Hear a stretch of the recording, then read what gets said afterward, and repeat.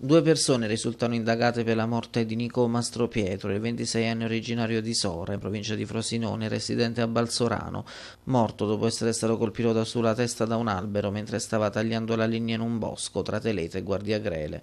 Si tratta di GM, di 52 anni, padre del giovane, e MDN, 25 anni di Carpineto della Nora, in provincia di Pescara, rappresentante legale della ditta che si è giudicata l'appalto per il taglio della legna. I due sono indagati per omicidio colposo, reato che il sostituto procuratore Aura Scarsella ha provveduto a notificare agli indagati per consentire lo svolgimento dell'autopsia fissata per venerdì mattina e affidata all'anomopatologo dell'ospedale di Sulmona, Luigi Miccolis. I primi accertamenti svolti dai carabinieri della compagnia di Castel di Sangro avrebbero accertato che il ragazzo, impegnato a lavorare per per conto dell'azienda di famiglia, non abbia fatto in tempo a spostarsi e sia stato colpito al capo dal pesantissimo tronco. Il giovane sarebbe morto sul colpo.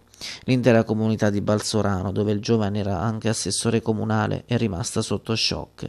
La morte tragica e improvvisa si è rivelata per tutti un fulmine a ciel sereno.